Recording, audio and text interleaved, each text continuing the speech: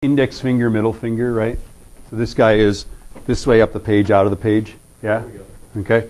This one is wrap your, put your thumb in the direction of the current, wrap your fingers around the wire. So below the wire, it's into the page, above the wire, out of the page.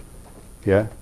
This one is wrap your fingers around the way the current goes. Your thumb is the North Pole, so the North Pole is facing you, the North Pole is away from you, the North Pole is the top, like that. Okay?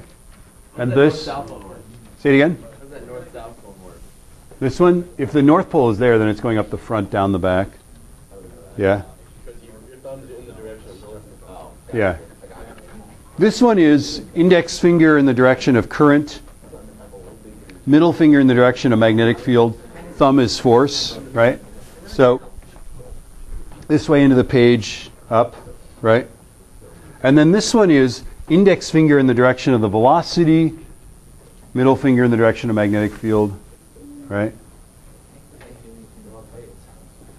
And then it's going to be the left. Remember that negatively charged particles negatively charged particles are the opposite, right? So when, once you predict, like this guy is going to be up the page, so it's down the page. Negative up is down, right?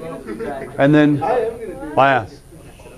And then these guys, you just have to put yourself in this frame of reference, right? So a proton is moving vertically downward. Vertically downward is like into the page. Vertically upward is out of the page, right? Okay. And then it's a northerly magnetic field. So the force, um, let's see, a proton, a vertically down, oops, sorry, vertically downward force.